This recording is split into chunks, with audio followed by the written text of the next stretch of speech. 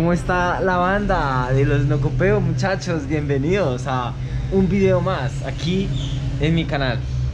El día de hoy es un video, pues no sé, más que trabajando aquí va a ser como contándoles como mi experiencia trabajando aquí, porque no es como que pida un día para trabajar acá y toda la vaina, no, yo llevo acá trabajando desde que tengo memoria, muchachos. Yo antes, mis papás, mi papá me armaba una camita con cartones de cigarrillo, weón. Y yo dormía de niño ahí. Porque por eso salí así, weón. O sea, no es por obra y gracia del Espíritu Santo. Este negocio es de mi papá.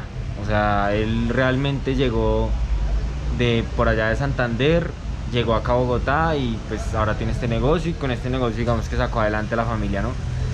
Un tipo muy muy áspero, muy crack. Mi papá yo lo admiro mucho, mucho respeto para él. Aprendí aquí a trabajar desde chiquito y él como que me enseñaba a atender, como que me enseñaba a hacer cuentas, me enseñaba a leer el periódico y como que me fue incentivando todo esto de, de la comunicación. Yo siento que aprendí mucho acá a comunicarme con las demás personas porque aquí llega mucha gente que necesitan una cosa, que necesitan la otra. Llega gente re mal educada, llega gente muy buena gente llegan personas groseras. Entonces como que uno aprende a lidiar con todo tipo de personas, ¿no? Como que tú te das cuenta cómo es el borracho, cómo es el tacaño, cómo es el que es botado. Todo ese tipo de personas uno conoce trabajando así como de tender o de servicio al cliente. Como que tú aprendes a ser más también un poco empático, ¿no? Con las demás personas. Muchas veces llegaban los borrachos, weón. Bueno, llegaba gente a tomar y empezaban a tomar y a tomar y a tomar. Y entonces, ya después cuando estaban repailas, weón, retomados, empezaban a hablarle a uno.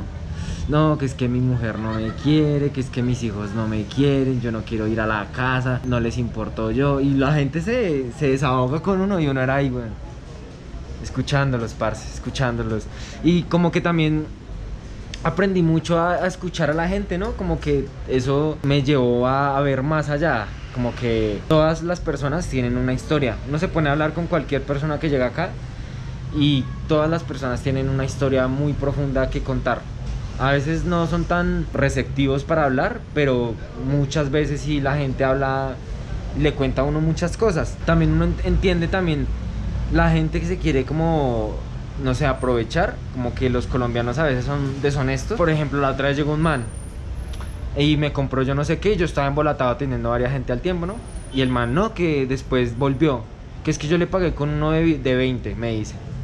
Y yo lo miré y yo le dije, ah, viejito, yo llevo acá trabajando como 10 años, usted me va a venir a meter los dedos a la boca y que me pagó uno de 20. Viejo, si usted me pagó con un billete, yo le devolví las vueltas de ese billete.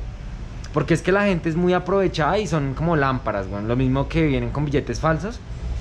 Eh, y saben que vienen con billetes falsos, entonces uno lo que hace, tan, está falso, perro. Yo, a mí nunca me han metido un billete falso hace más de 7 años, por ahí, póngale, o más, weón. Yo aprendí a reconocer los billetes de acá. Entonces que llegue alguien con un billete falso, yo se lo rompo, perro, y sabe que piérdase, weón.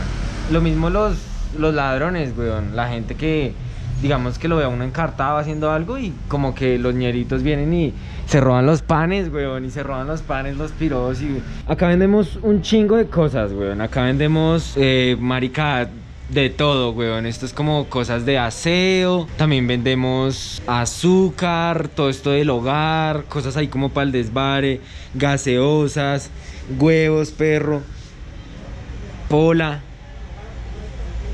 trago. Lo que pasa es que antes, antes de, la, de la pandemia, este negocio tenía mesas, weón. Tenía mesas acá por toda esta vaina. Pero entonces por lo del COVID, como que la gente ya, bueno, pusieron problema y ahora no se puede poner mesas. Entonces, eh, estamos como en ese proceso de los permisos y toda esa vaina, como para que la gente pueda llegar otra vez a tomar. Porque lo que más da, digamos que rentabilidad aquí, es el consumo de alcohol. Y lo que más se vende, yo diría que son los cigarrillos. Los cigarrillos se venden muchísimo. Y la cerveza es lo que más deja, digámoslo así. Pero pues también lo que ustedes pueden ver, se, se vende de todo, de muchas cosas. Y también como que yo me desquito con las personas que no son amables. Por ejemplo, llega alguien y a mí me ofende que no den ni las buenas tardes, parce. No. O sea, que lleguen y de una vez digan, deme tal cosa. O sea, si ni siquiera dicen por favor, ni buenas tardes, ni buenos días, ni nada. Entonces llegan así como de mala gana, como si uno les hubiera hecho algo y deme tal cosa, así. Y le botan a uno a veces la plata, güey. A mí me ofende eso, parce. Entonces cuando, digamos, llega alguien así de mala gana, perro, y, dice, no, que deme tal cosa, pum, y le botan a uno la plata. Perro, yo le voto también las cosas, yo, vea. Entonces como que hay gente muy mal educada.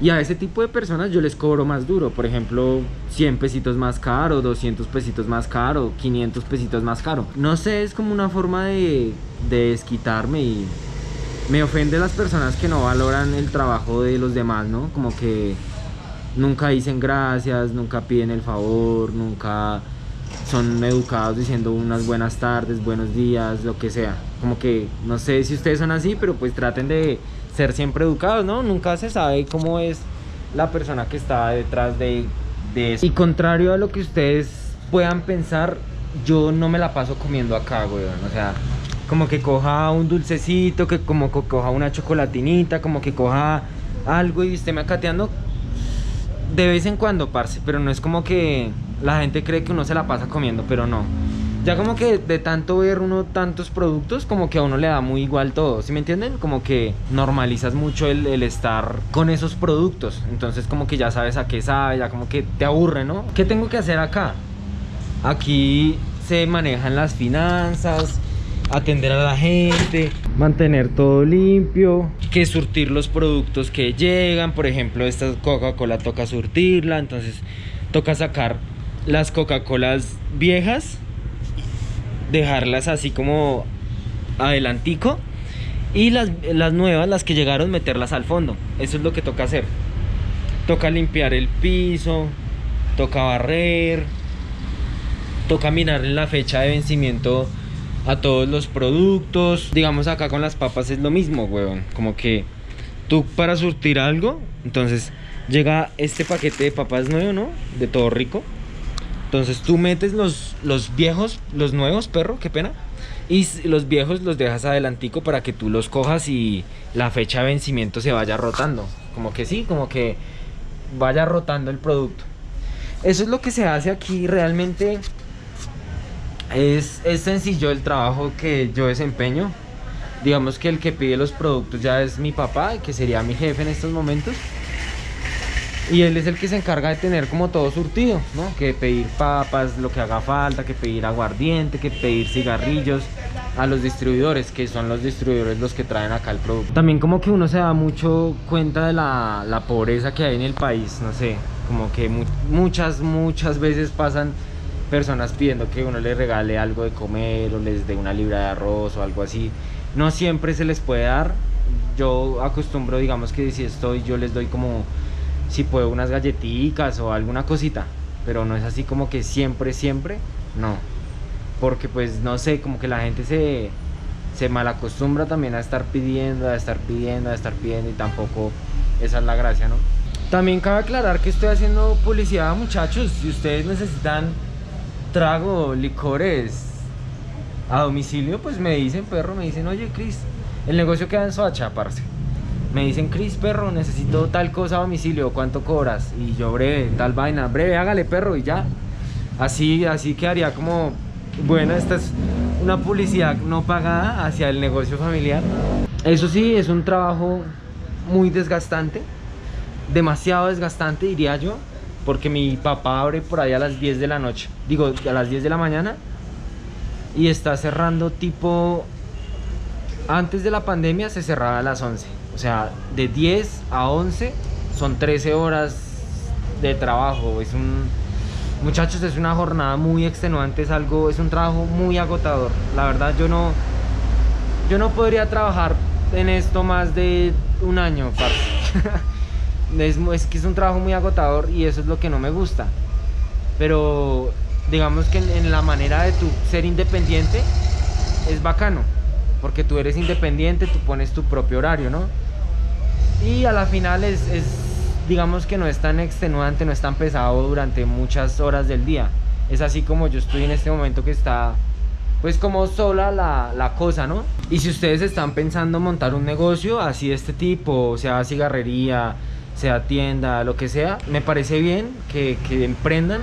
Esto es algo de llevar con mucha disciplina, con mucha responsabilidad, porque fácilmente uno se puede, digamos que, descuadrar con las finanzas y gastarse toda la plata muy rápido, o no dejar para el surtido, o no dejar, digamos, para el empleado, lo que sea. Para llevar un negocio de este tipo, o bueno, para todos los negocios hay que ser muy disciplinado y muy responsable, weón. O sea, eso es muy, muy... Es...